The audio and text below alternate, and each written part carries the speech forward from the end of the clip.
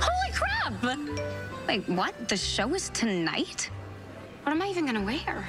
Oh, better text one of my most fashionable friends. Thank you for texting me. That was like really